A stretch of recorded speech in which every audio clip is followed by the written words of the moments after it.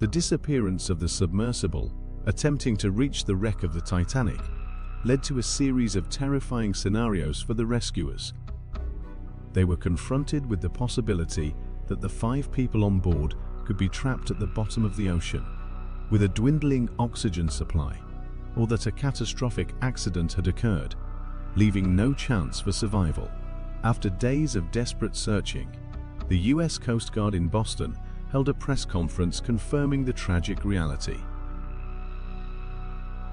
Multiple debris pieces found on the ocean floor indicated that the sub had imploded, resulting in the loss of all lives on board.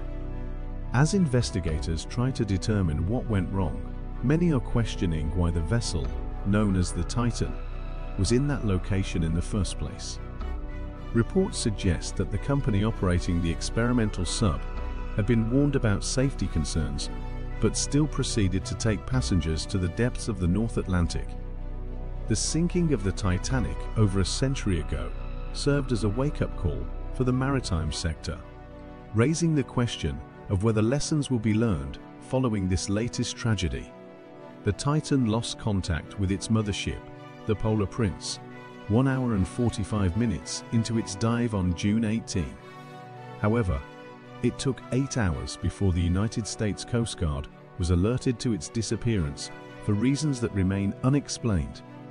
An international search operation was swiftly initiated with US and Canadian aircraft deployed to scour the area from the air and drop sonar buoys into the waters below. Rescuers faced extraordinary challenges from the outset as the Titanic wreck is located in a remote part of the ocean hundreds of kilometers away from the coasts of the US and Canada, and nearly four kilometers beneath the surface. The harsh conditions at the wreck site pose significant obstacles. First of all, it's freezing cold. Secondly, it's pitch black. The pressure is 380 times what we feel here. It's an Empire State Building of lead sitting on top of you. Remotely operated vehicles ROVs, equipped with cameras, became a priority to provide visibility to the surface crews, allowing them to explore deep into the ocean. Amidst the search, there was a glimmer of hope when underwater noises were detected in the search area, leading to speculation of possible survivors. However, the Coast Guard later clarified that the noises were unrelated to the sub. A top-secret military system reportedly detected a potential implosion shortly after the sub's disappearance. Experts believe that if an implosion did occur, the crew would have been unaware of the events transpiring, resulting in their immediate demise. While debates on social media focused on the actions of the super-rich, the loved ones of the five individuals on board the submersible lived through unimaginable horror during the week leading up to the confirmation of their fate. Among the passengers was the CEO of OceanGate, Stockton Rush, who charged his four passengers a substantial fee for the deep-sea adventure.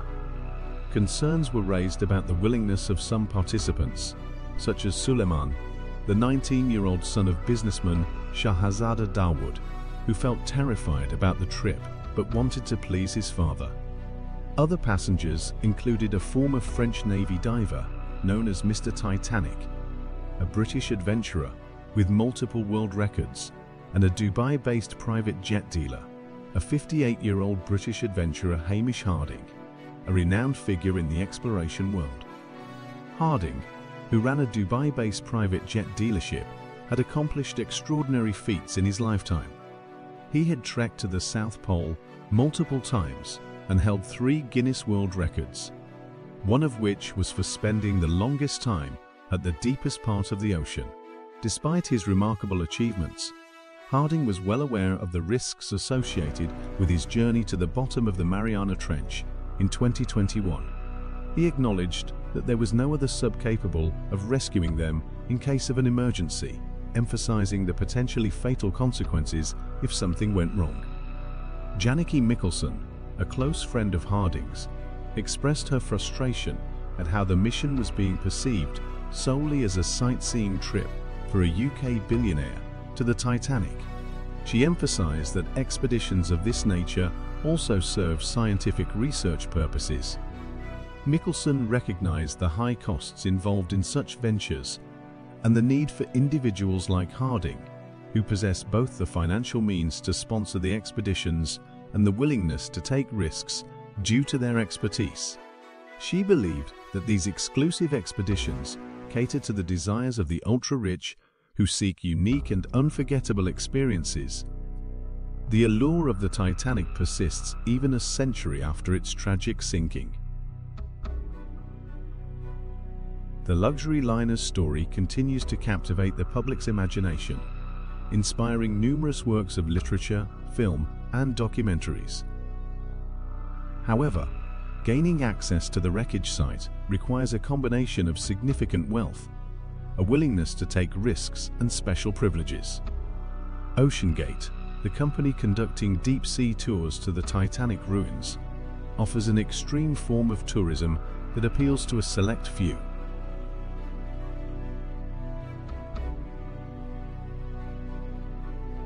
Their eight-day, once-in-a-lifetime experience is designed to provide exclusivity to clients seeking an extraordinary adventure. It is estimated that fewer than 200 people have personally witnessed the wreck, a significantly smaller number compared to those who have traveled to space or climbed Mount Everest. The ultra-rich, driven by their thirst for unique experiences, spare no expense in pursuit of these remarkable opportunities. While shipwreck tourism has its enthusiasts, it also faces criticism. Concerns have been raised about the impact of human activity on the Titanic wreckage. Critics argue that the site should be treated as a maritime memorial and left undisturbed. Scientists have cautioned that excessive visitation could harm the wreck, leading to its deterioration over time. Previous expeditions to the site have revealed evidence of pollution, such as discarded bottles and cargo nets, raising further concerns about the preservation of the historical site. The safety of the Titan, the submersible used in the ill-fated expedition, had previously been a subject of discussion.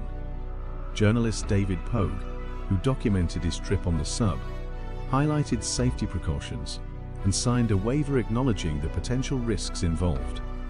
Reports emerged about past safety concerns and legal disputes involving OceanGate, including questions regarding testing and the lack of classification or certification for the Titan. The tragedy surrounding the ill-fated expedition to the Titanic wreckage has raised questions about the safety and regulations surrounding submersible vessels. In the United States, major marine operators typically require chartered vessels to be classified by independent organizations like the American Bureau of Shipping, a BSA. However, OceanGate, in a blog post from 2019, stated that their innovative approach often falls outside the existing industry paradigm, suggesting a deviation from traditional classification standards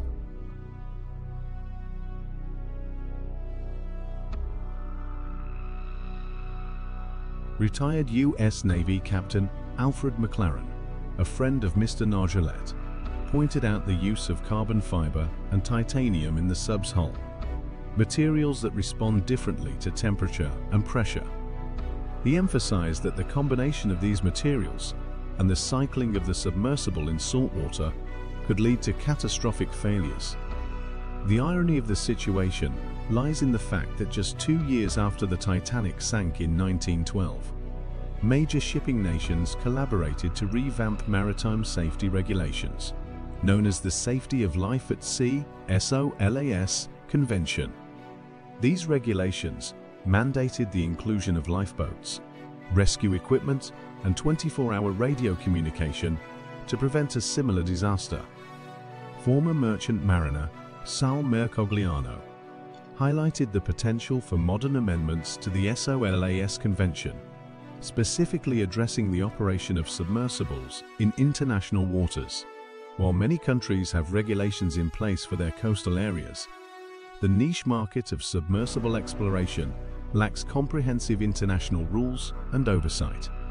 Critics within the industry have harshly criticized OceanGate's approach, with renowned filmmaker and deep-sea explorer James Cameron leading the charge. Cameron argued that the design of the Titan, particularly the use of carbon fiber composites for its hull, was fundamentally flawed.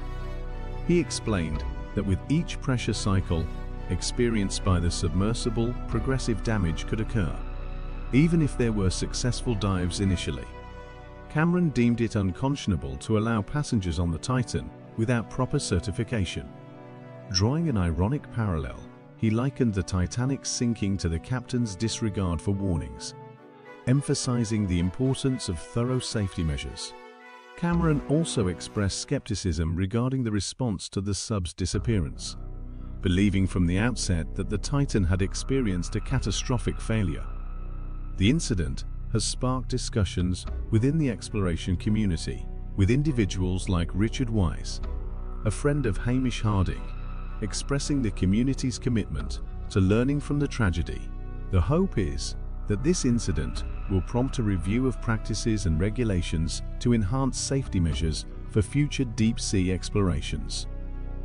The saying in the maritime industry that all rules and regulations are written in blood emphasizes the unfortunate reality that accidents often drive the need for stricter regulations. The aftermath of the Titan's demise may lead to new amendments and increased attention to submersible operations in international waters. What do you think about it?